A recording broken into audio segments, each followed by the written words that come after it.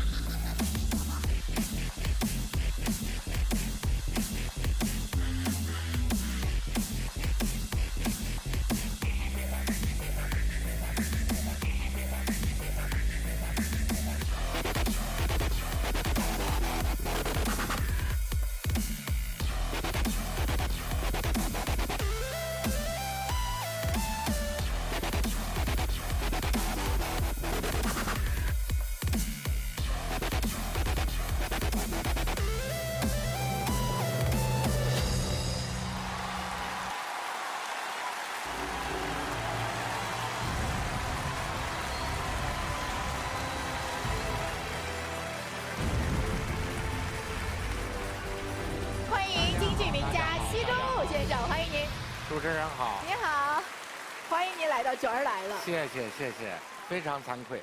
为什么惭愧呢？在我感觉当中，角儿来了那是上一辈爷爷啊，挑着班儿啊，带着班儿唱戏，能管那么多人吃饭，我没有那个能力，所以非常惭愧。奚中路老师为人特别的低调。其实他刚才说到的，在过去哈、在您祖父那一辈，西孝伯先生他们当年啊被称作是角儿。为什么能称为角儿呢？是因为全团都要靠这个角儿来养活，他要挑班儿、唱戏。呃，就是说过去我父亲在家聊过这事儿，你比如说是他是拿分制，嗯嗯，爷爷拿五十分，嗯呃，父亲一般的配角拿十五分，哦。呃，再往下拿八分的，嗯。拿五分的，嗯。那么就是看大伙儿一开戏了，就扒台帘儿看观众。今天如果上满堂了，那么你这一分就一百块钱。哦。比方说啊，十分呢，就一千块，啊，那么今天一看半堂座，你这一分就变成五十块了，啊，那么你就相减减半了。那么就是说，这个上座演出的质量，它是相相关的是，牵系到每一个人的，牵扯到每个人。好，聊了这么多呀，咱们是不是先坐下来，咱们慢慢聊聊戏曲当中的那些故事？好，欢迎西中路先生。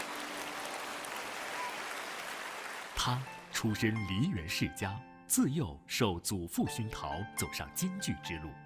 舞台之上，他勇猛刚毅，大气沉稳；舞台之下，却性情腼腆，不善言辞。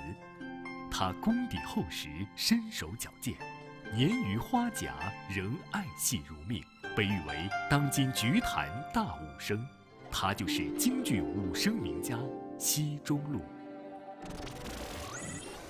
千帆过尽，人生戏，一缕茶香续芳华。首先，我们今天请到了奚中路老师做客，卷儿来了，我们备上香茶，已经贵客。谢谢谢谢。您先品品这茶怎么样？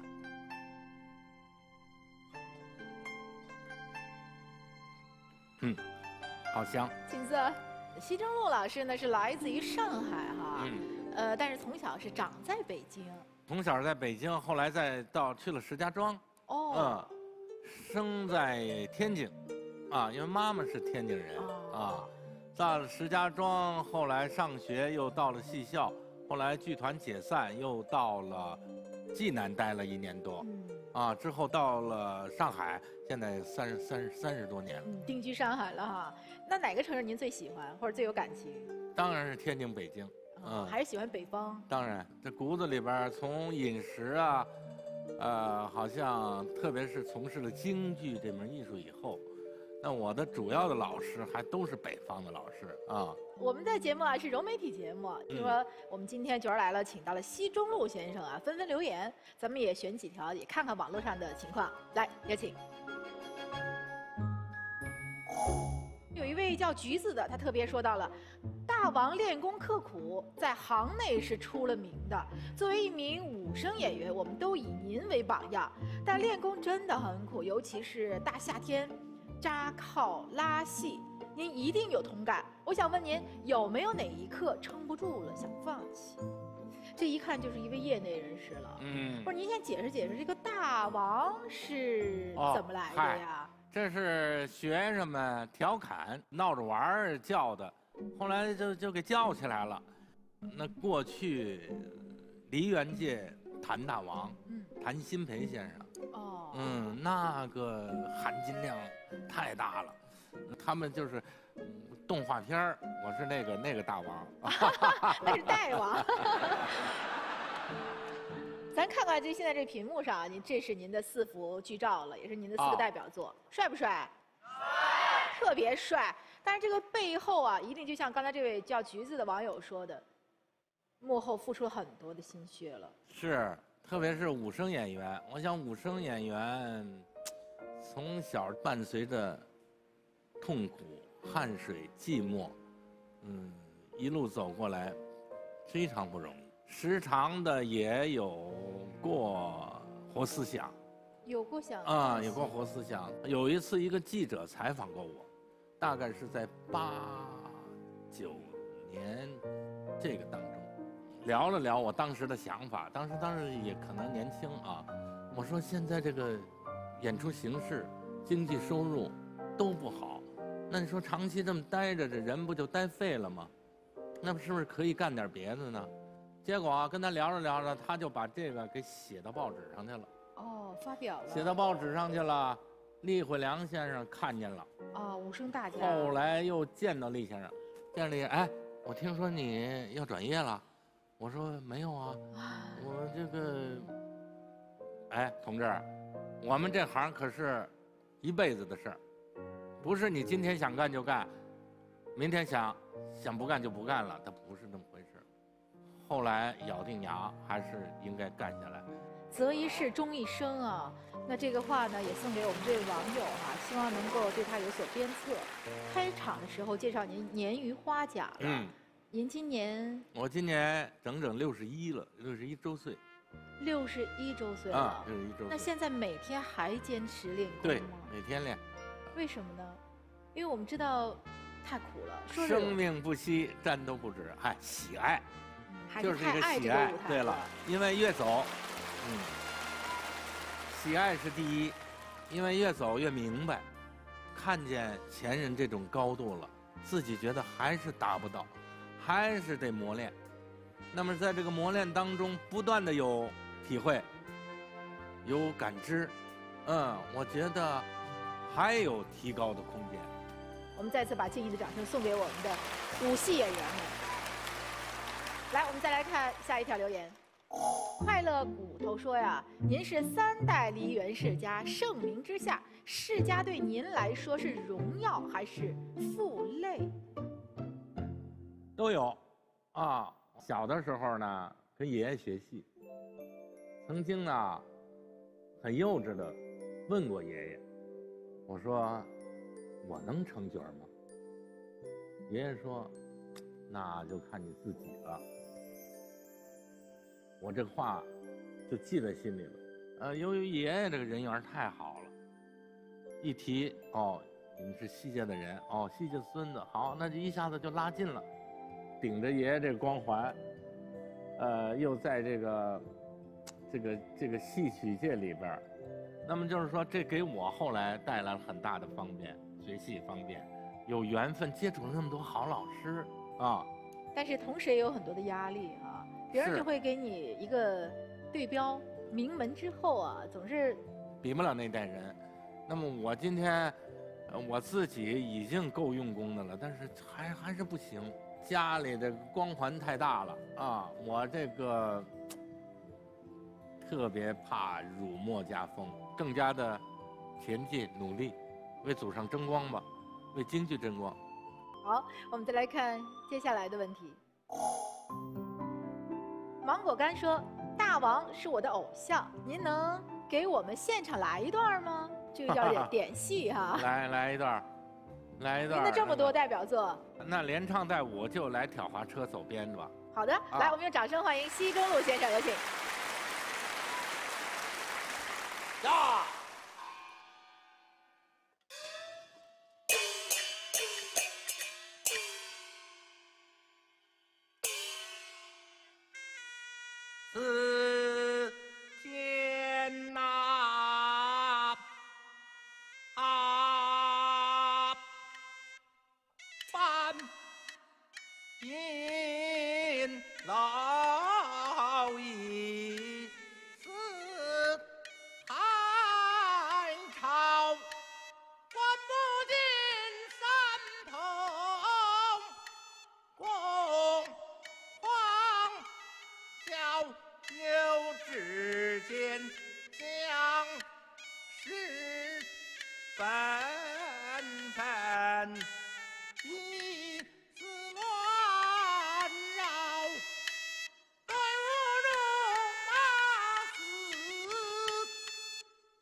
兵权闹。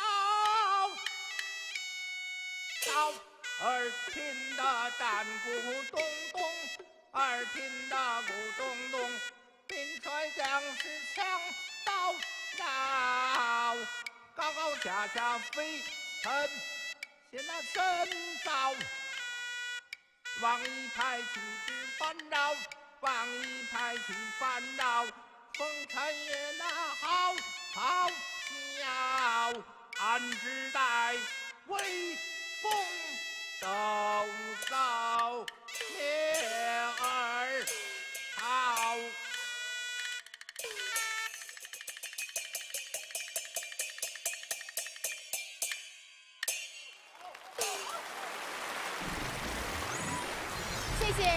西中路先生刚才为我们带来的挑滑车啊，让我们一同领略了京剧大武生的风采。要说到西中路先生的艺术上取得的成绩啊，记得曾经在半个世纪前，有一位老人这样评价说：“中路演戏有谱。”也正是因为这句话呢，指引他走上了执着一生的京剧道路。那这位老人是谁呢？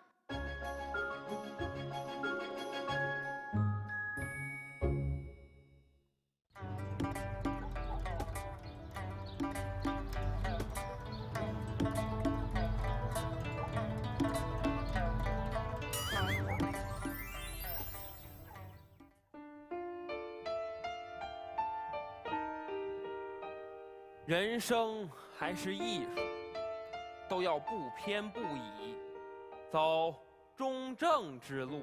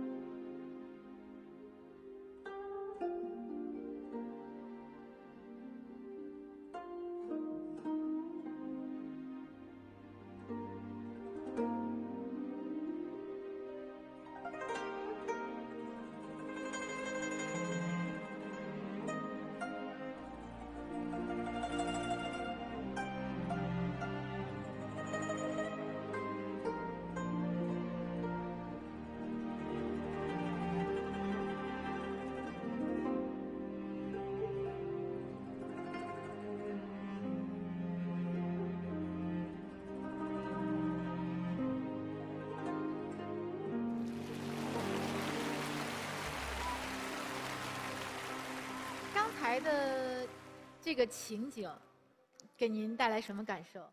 爷爷想起嗯这个情景，还有师傅，嗯欧阳中石先生，还想到那个义父荣元俊先生。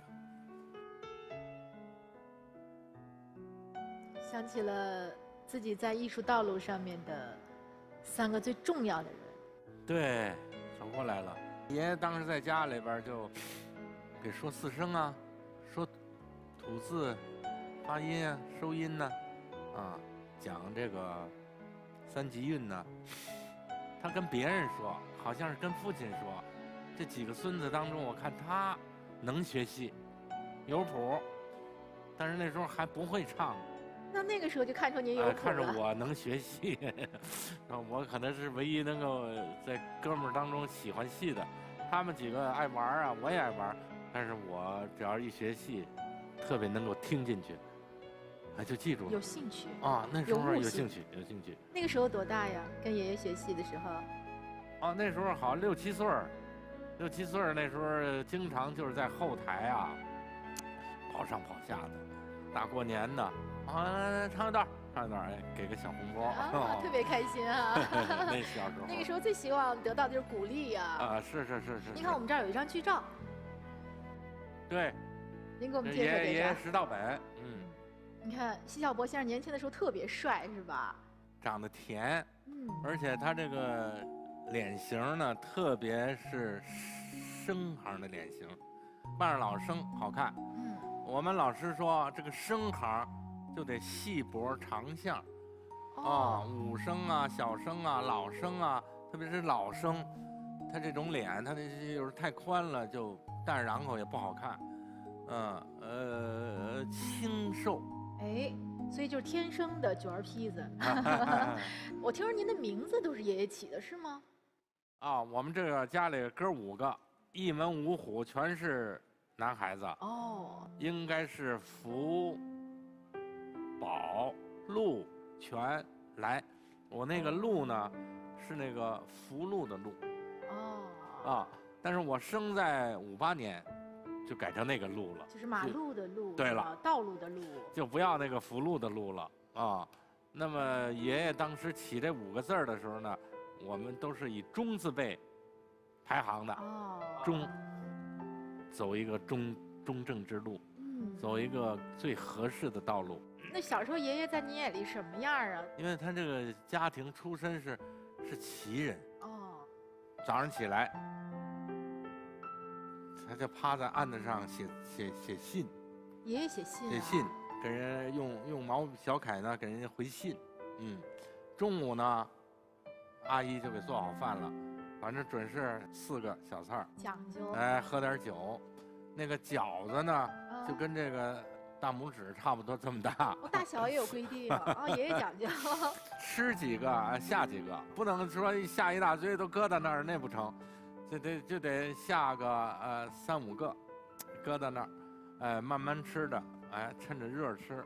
现在回忆就觉得真是太讲究我还想求教您呢，啊，就是曾经说这个西孝伯先生当年说好像在安定门那儿有一个城墙，曾经说这个西孝伯先生当年去喊嗓子，结果把那个城墙都给喊凹进去了一段。这个问过爷爷，我说听说您喊嗓子是嗯大冬天也是拿把扫帚，他说我这是学于淑妍。于淑妍先生就是大冬天拿把笤帚，出了城门扫雪，扫到那个城墙底下，在那喊嗓子。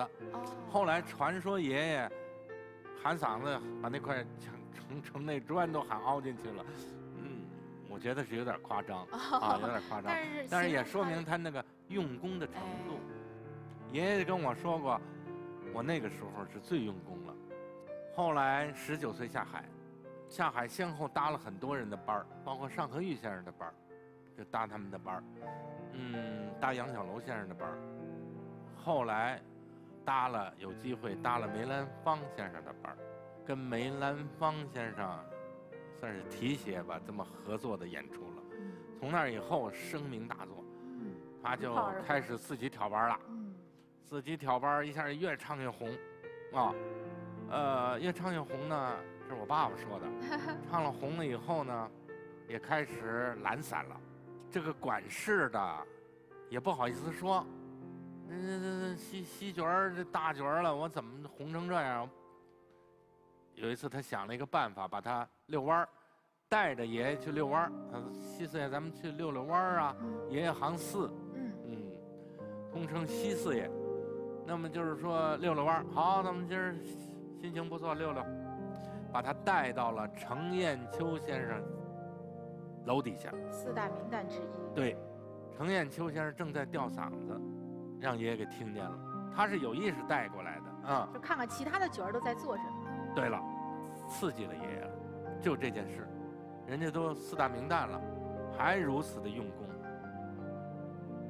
就是回来以后，也没用说的，他自己就就 自己就开始用功了。刚才聊了很多儿时关于祖父的一些记忆哈，刚才的这个情景再现，第二段，让您想起哪位老师？欧阳中石先生。欧阳中石先生呢，在七六年看望他的师傅爷爷。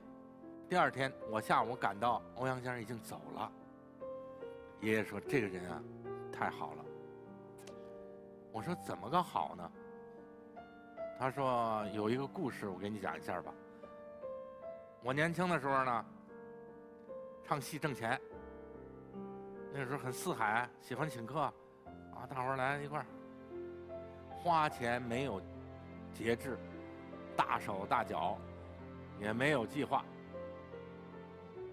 欧阳先生看着，也不敢说，也不好意思说。后来就想了一个办法，编了一个瞎话，说妈妈病了。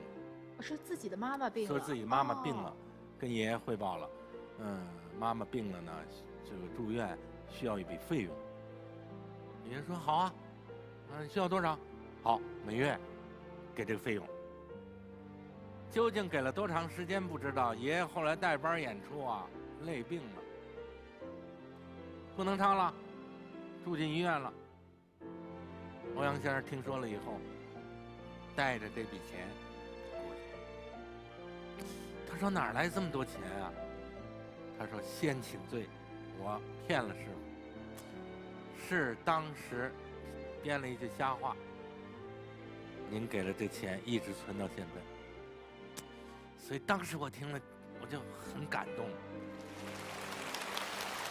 刚才讲的这段故事当中的欧阳中石先生就是书法大家呀，也同时呢也是奚孝伯先生的得意弟子。现在很多的西派传人呢都是像欧阳中石先生求教。嗯，嗯，欧阳先生呢，就是确实那时候喜欢爷爷这个派，爷爷巡回演出，每到一地儿，必定有一封信，唱的什么戏，见了什么人，都说些什么，有什么感想，最近有什么研究，一封信，啪，而且还要必亲自送到信筒，在扔进之前再看看地址对不对，哦，对了，扔进去，那么认真，给谁呢？这封信？给欧阳中石先生，哦师哦徒，之间。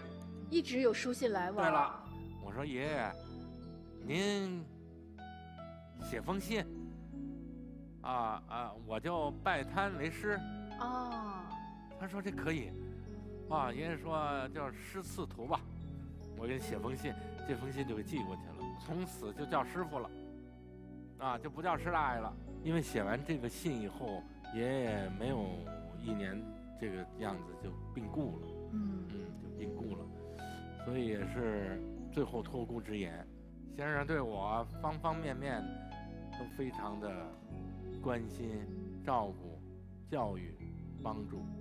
欧阳中石先生啊，现在在医院，我们也把最美好的祝愿送给先生，好不好？虽然说今天欧阳中石先生不能来到我们的现场，他的女儿欧阳启明女士来到了我们的节目现场，我们用掌声欢迎她好吗？有请您。大家好你，好，你好，你好，欢迎您，欢迎您，好，欢迎您，快请入座。欢迎欧阳启明老师来到我们的角儿来了。那刚才跟奚中路老师聊了很多他儿时的记忆，聊到了欧阳中石先生。嗯，说说您两位是从什么时候认识的？我认识他的时候，他可能还不记事儿呢。小的时候是是是一个挺可爱的小朋友。到了七十年代，七十年代戏校就毕业了，是吧？嗯啊，戏校毕业以后就经常到我们前拐棒来。嗯，经常来北京，住在家里边。这张照片儿，哦这还有印象吗？这是什么时候呀？这张照片应该是七十年代末到八十年代初吧。我在王府井做修表工人哦，那个时候啊啊，那时候我还带着套袖嘛。哦，那时候是最挺时髦的服装哈。我听说今天您来啊，还带了嗯两件物件，是要给我们讲讲它背后的故事。啊，我们把它拿上来好吗？好好的来，这是张剧照。对，在民族宫演出演出，呃，我的父亲演的是刘备，呃，中路演的是赵云，刚好是演的托孤一场。我父亲总是说这一场戏比较有意义，因为当年西爷爷是把中路托给了我的父亲，啊，所以这个戏呢演起来，他觉得格外有意义，是吧？刚才也特别感动，西中路先生刚才也讲到了这一段经历哈。啊。这还有一个物件，咱们来讲讲这个故事。这还有一件，不知道钟路还记得吗？这是西爷爷的一块手表，后来给了姑姑，姑姑又给了我的父亲。啊，这是西孝伯先生的手表。对，，嗯，到现在还走着吗？不走了。虽然我是修表工人，我没有办法让他走了。这样的一个物件哈，啊，证明了对，因欧阳为中石先生对西孝伯先生那份情感一直保留到现在。啊，他不仅是这一块手表，他的衣服，我的父亲也穿着，记得吗？中山装，爷爷的 爷爷的。俩人身材差不多。两个人个头也差不多，胖瘦也差不多，嗯。欧阳中石先生跟奚孝伯先生感情非常深哈。对他们两个人一直就是书信往来，直到西爷爷，呃，您去世的时候写的最后一封信，也是写给我爸爸的。对，那封信好像还没写完。嗯，那封信没写完，写的是，呃，严居鹏先生哆嗦哆嗦。啊。他说：“现在我拿着笔也哆嗦，哆哆嗦嗦，哆哆嗦嗦，最后写的就是哆嗦严居鹏先生唱老生，啊，平时呢就老爱练哆嗦，后来成了习惯了，干什么都这个台上老哆嗦。然后我现在也成了严居鹏先生了，嗯。”这拿笔也哆这可。能是他最后的时候真的是拿不住那个笔了，但是还要写。其实中路是学武生的，我父亲学的是老生，应该说隔行如隔山啊。但是呢，我觉得我父亲有意识的把他领入一种新的、跟普通的演员不同的一种境界里边，这就是就是要培养他的文化内涵啊。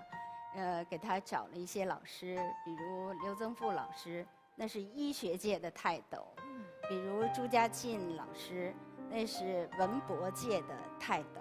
嗯，其实今天啊，欧阳启明老师来到这里，我也觉得挺意外，也很感动，因为就在录制的昨天晚上，说欧阳中石的夫人也是您的母亲，身体对对对，不是啊特别好，抱恙，发烧，嗯，感冒了，师嗯，娘，对，嗯，嗯然后现在住院了哈，现在住院了，嗯，但是没有什么大问题。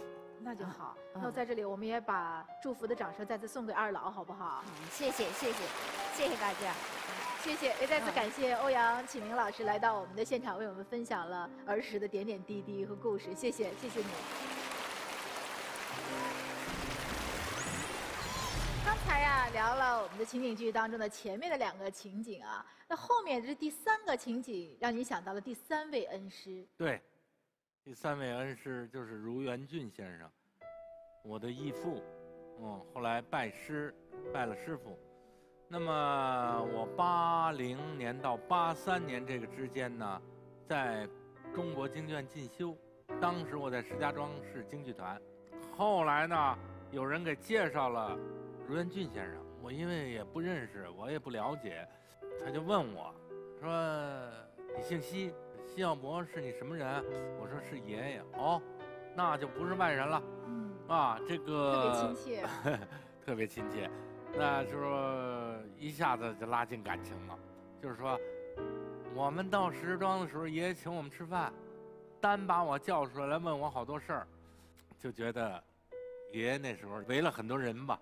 先生看了我呢，对我还不是很了解嗯，啊。有一次我在练功房练功，他偷偷的、偷偷的在那儿扒着门缝看，三寸厚底儿，好，靠前扫地。嗯，那功夫还还了得，嗯，当时就给我说上戏了。他这点枪花应该这样，这点停顿一下。后来呢，这个先生自己说，他说我这么喜欢你，这搁着过去就早就认干爹了。哦，点说呢您了一下。啊，那我说我就认干爹得了。从那以后就开始叫干爹了，啊，叫干爹就陆续的开始学武文华呀，呃，这些儒家的代表剧目。我们现在看大屏幕上出现这几个字：三行六进，心意八，无义者十。这十一个字儿，你要记在心里。这是在形容。这是当时儒先生说戏当中说的一个前派的一个口诀，哦，说我们戏曲没有戏曲理论，实际他这十一个字就是戏曲理论，嗯就是你演员一生走过的过程。三先生说，横平竖直都对了，学够够三成，劲儿对了，够六成，你的唱念做打都是从心里发出来的，那就够八成。到十成，那就是随心所欲不逾矩。为什么说有活武松、盖老啊？过去还有活赵云啊，呃，活诸葛亮啊，活鲁肃，都成了活鲜活的人物了。那么就他到了这种实的境意境。我相信很多观众说到武生就会想到英姿飒爽，其实这里面有很多的门道，有很多的讲究。我们今天就还原一个大武生的一个武馆，让大家一探究竟，好不好？好，来，跟随我们一起去。现在啊，我们的舞台上还原了一个武馆的这样一个场景，而且我们请到了嘉宾坐镇呢。这位呢是大家老朋友了，中国戏剧学院京剧研究所的所长赵景博老师，我们掌声欢迎他。欢迎欢迎欢迎赵老师的到来，欢迎，快请坐。赵老师啊，您今天来，可能很多人说这武戏这讲了半天讲武生，这怎么请了赵老师来了呢？我你是捧角儿来了，我是来看角儿来了。哦，那咱得请角儿上场。对，我给我看看中路。哎，好，来欢迎欢迎我们角儿。您看，换装完毕了，哎呀，谢谢赵老师，谢谢赵老师快。请坐。咱今天请到了赵景博老师来啊，也给我们的年轻人，给我们的年轻观众普及普及这武戏怎么辨别，怎么鉴赏。这五声都分什么呢？凡是看戏曲，特别看京剧的，多数是从武戏入门儿先看武戏，哎，武戏好看，就紧跟着就进来了，逐渐又开始欣赏文戏。火爆啊激烈，热烈哈。因为这武生这行当啊，形成的较晚，他善于啊从各个行当里取戏。你比方说长靠、短打、建议、勾脸儿，太丰富了。就说这个长靠，是不是扎着这靠旗的就叫长靠武生啊？呃应该是，这么这么着好理解吧？哎，可以好理解。如果说这短打就是短打就是顾名思义吧，就没有这靠旗没，有靠旗，没没有考保底儿。哎，保底儿。那您今天是不是也给我们露着一手？今天刚才我们赵老师也说了，那边有那么多的道具啊，您可以任选，看看这个我们这个武生的魅力，绝技绝活。先来先来枪，哦，您先选一个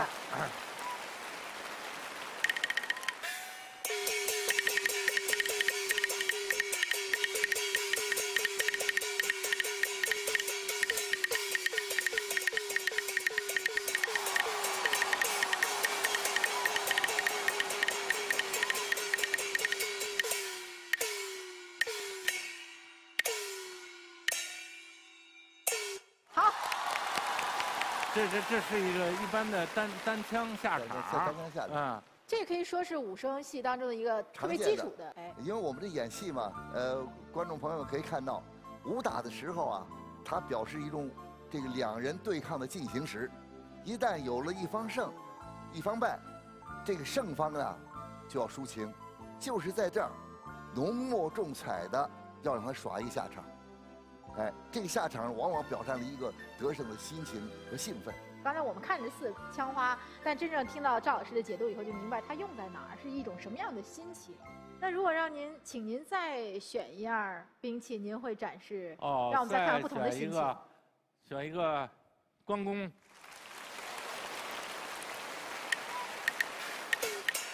关公大刀。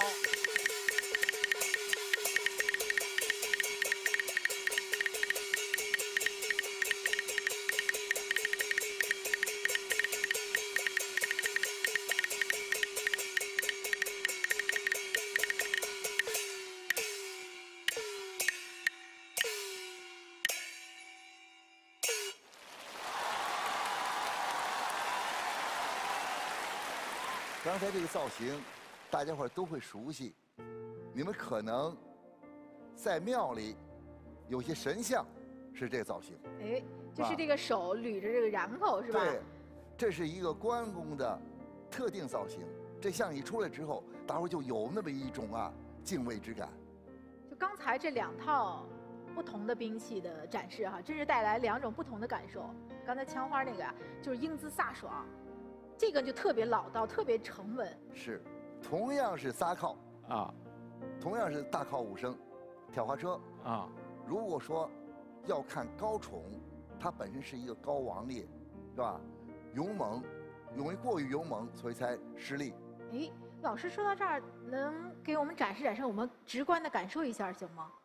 来，欢迎。好。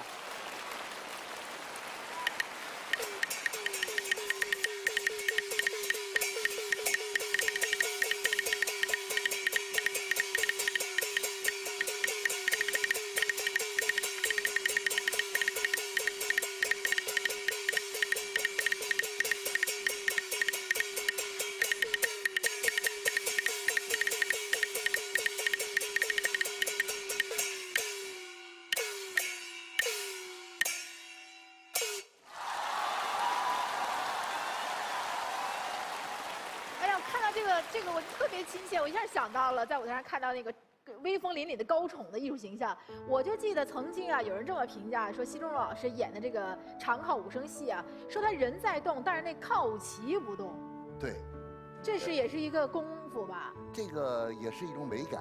你比方说啊，跑圆场，是吧？呃，如果是给给你仨人这靠啊，你会啊，我们叫扇扇子。对呀、一一或者跟着我这个呼呼跟着我这个动，或者是这个身体横着晃，动，或者说嗯我们叫扇扇子，是吧？功夫练到了之后，就是这样，靠其实不不会乱的。纹丝不动哈。这叫像珠子啊，珠走玉盘一般，就是这个，只看见它动，它不会不会晃悠，啊，您是怎么做到的呢？常年磨练的吧？就是练就是练的。嗯，常年磨练的，也是老师传授的。这次啊，呃，给钟路做这个角儿来了，他给我打电话的时候啊，我首先我就很注意他一句，我哪够角儿？为人特别谦逊，嗯我觉得他所以觉得我不是角儿，我觉得他心里中啊是有角儿。这个角儿，恐怕就是他永远他仰望的一个星空上的一个星星，是吧？说得好，说得好，呃真是说到我心里去了。我觉得他就在仰望，一个照片，看看人家站那身上什么劲头，是吧？子午上怎么做，内劲儿是什么，外形是什么，他永远在找一个和大师之间的距离，所以他永远觉得自己不够劲儿。那这我觉得这个东西啊，真是他自个儿追求所致吧，所以他形成这样一条道路。刚才啊，咱们聊了奚中老师带来的一些长靠武生的戏啊。啊，其实说到短打武生的戏也有不少。我记得奚中路老师呢，他有一个，他对短打武生盖叫天先生是非常欣赏的。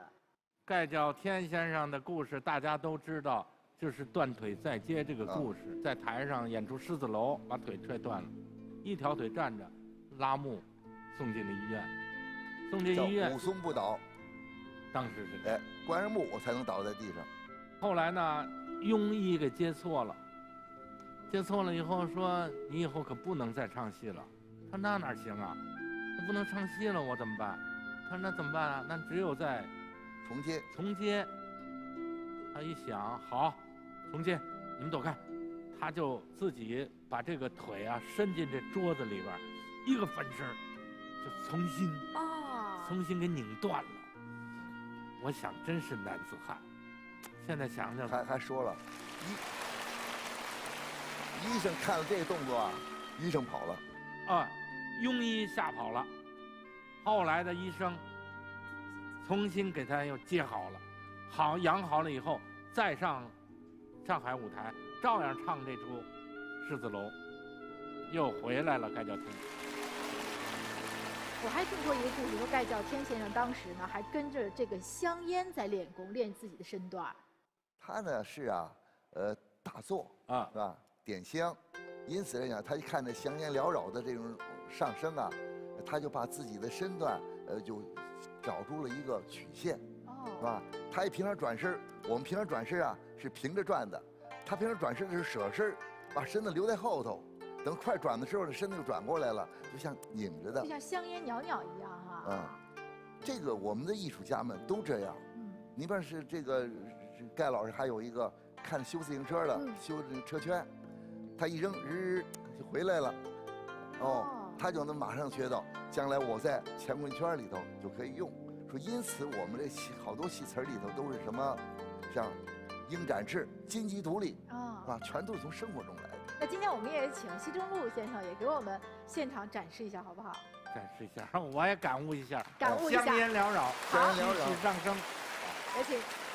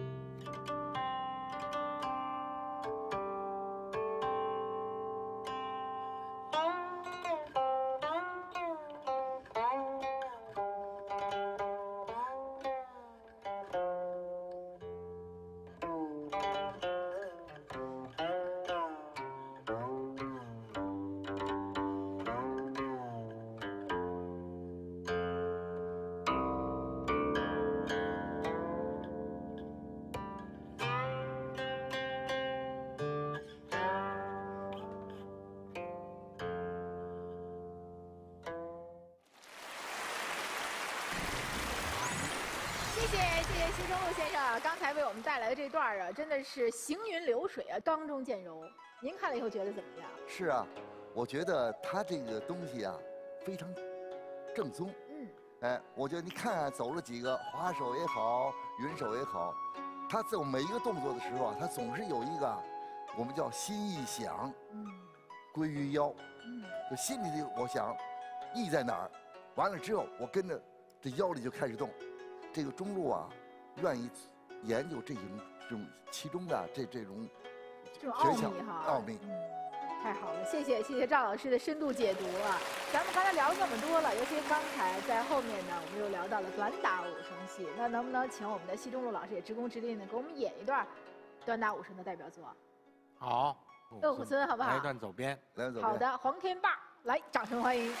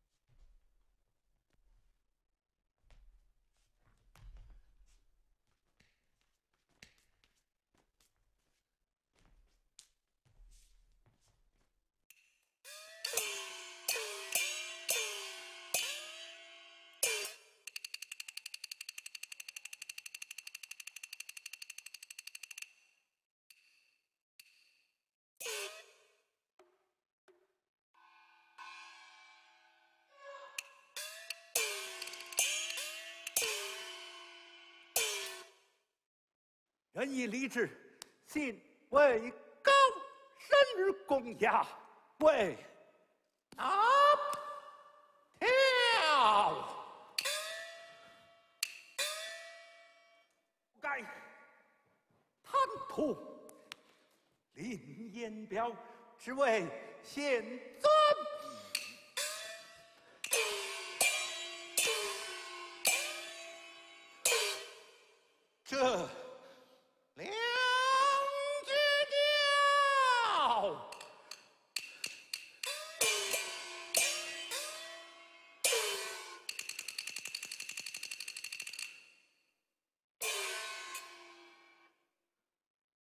进庄，现尊落在他庄，将他放吃是两全其美。他若不放，啊！按天罢，也只好是苦苦哀求。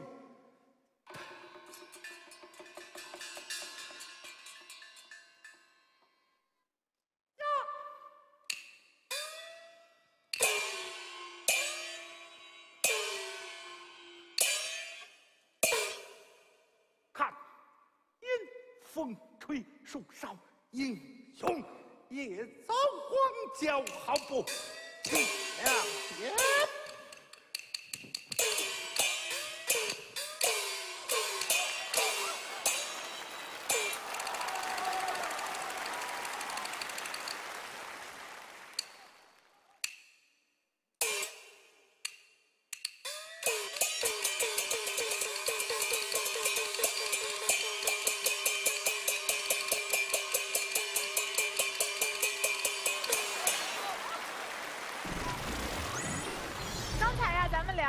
京剧武生当中啊，分的特别的细啊。您看我们的舞台上，就是刚才咱们聊到的武生当中的长靠武生、剑意武生、短打武生，还有勾连武生。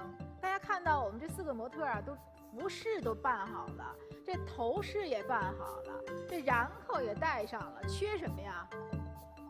缺脸谱了。哎，那接下来啊，我们就有一个互动的小游戏，看看我们今天现场观众领略如何。我手里有四个脸谱，大家考虑考虑，谁应该是什么样的脸谱，好不好？来，哪位观众愿意上来参与一下？有请有请，快来！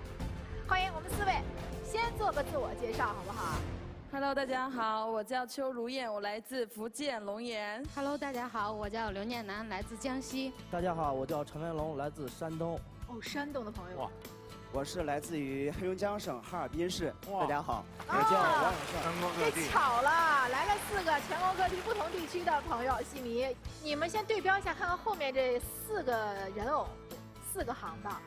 我这手里面有四个不同的脸谱，你们抽签吧，然后放到你认为是最合适的那个人偶那里去，好不好？行，来，开始吧，看看他们的服饰。哎，你觉得哪个像应该放在哪儿？就放在前面的桌子上。哎，好，然后回来说说理由。从你开始吧，来，为什么选择把这个脸谱放在这儿？呃，我就是觉着红色象征着就是威猛，呃，正义。嗯呃，我看了一下，就是上面戴的这个盔头。盔头，对，红色。所以说，根据这个脸谱的颜色以及整个服装上的一搭配，我觉得是，我就认为选选这个了。哎，从它的配色选择这个脸谱，你看西老师都已经鼓掌了，先不透露啊。来，我们福建的姑娘，从它的搭配上来看的话，白色的那个脸谱，它是代表着，呃，比较奸诈，就像就比较狡猾的那一种，哎，人物性格对是吧？人物奸诈。特征，对。嗯，哎，你看我们这还拓宽的回答了一个这个脸谱象征的奸诈，这个白色。我这个应该是这个短打吧，从他这个装扮上来看，就是特别这个一身特别简练，然后他这个脸谱上来说也差不多也应该是短打这一块儿。短打、嗯，那我这个应该是长靠吧？长号是吧？啊，对，因为他这身装扮的话，我觉得应该挺挺华丽的。那他这脸谱，你这个选择理由也是因为色彩的关系吗？呃，对，因为那个勾脸比较复杂，看着应该是比较霸气的人物。那今天这四位都已经回答完毕了，奚中路老师肯定心里有有数了。嗯到底回答对不对呢？嗯我们请上一位嘉宾好不好？好也是一位戏曲理论家，也是您的朋友了。是沈阳戏曲研究所的刘新阳先生。哎，专门对脸谱有研究。啊我们掌声欢迎刘新阳，有请。你好，你好，欢迎您。主持人老师好，你好，你好。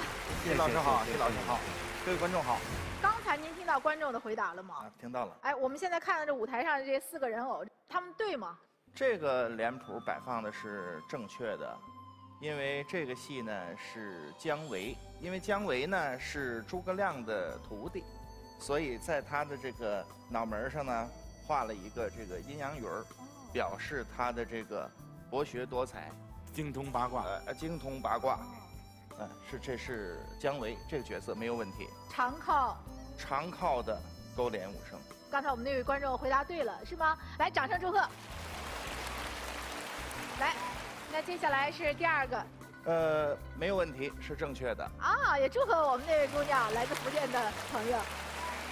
这个戏的扮相呢是艳阳楼，也叫拿高灯里的高灯，他是一个花花太岁。那么在脸谱上画的呢，也就是表现的这个人物呢比较凶悍，比较好色，哦，是一个酒色之徒。所以刚才我们那姑娘说的特别对，说是奸诈，奸诈之人。祝贺您啊！再次祝贺。好，说是这个。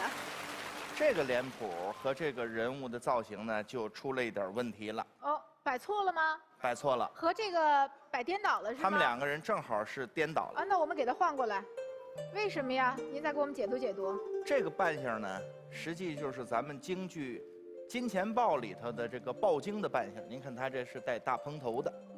那么大家看，金钱豹，金钱豹，这个地方有金钱，这个上边有豹的这个样子，所以这个脸谱呢，应该是这个金钱豹这个扮相，这豹一豹裤的这个其实你仔细看啊，他这个金钱豹这个脸型啊，这个这个脸上面这个还有一个这个叫铜钱是吧？对就是铜钱的那个钱钱眼儿。对，大家看这个和这个服装啊、服饰上面是完全一样的。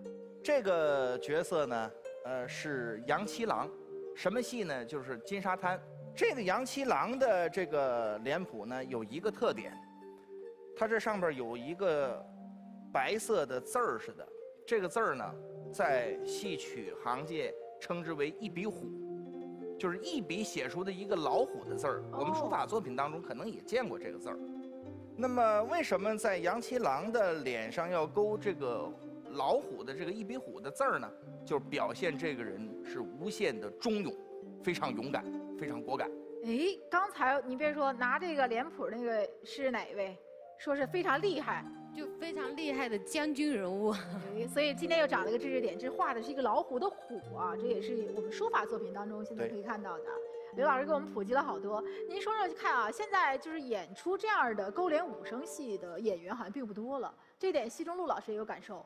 是，那个我其中呃这这个唱的很少，这三个唱的多点儿这个因为短打武生呢折腾的比较多，翻呢扑跌多，年轻可能更胜任这些戏。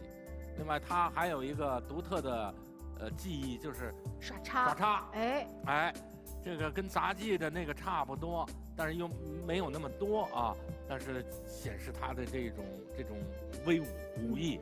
嗯，既然您说到了这，您现在经常演的是除了金钱豹这个角色，其他的这三个勾脸的武生戏比较多。啊那今天啊，咱们是不是也请您从这三个人物当中选一个，让我们感受一下勾脸武生的魅力，好，也是您的艺术特点了。哈，我啊我就选一个杨七郎。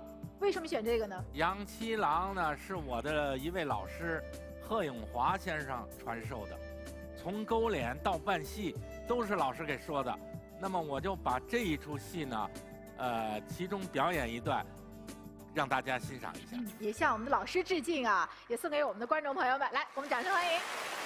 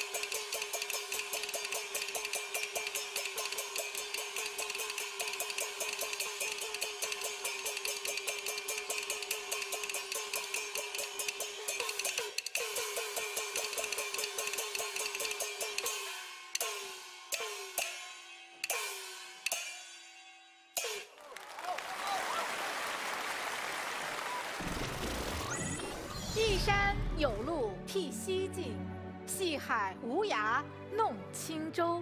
这就是本期的角儿——西中路。学到知修处，方知意不精。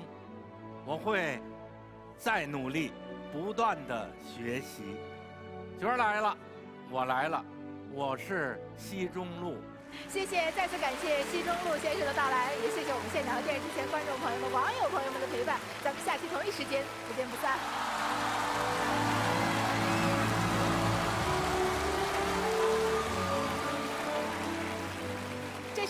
花茶送给您的礼物祝您身体健康永葆艺术青春。再次感谢您的到来。再见。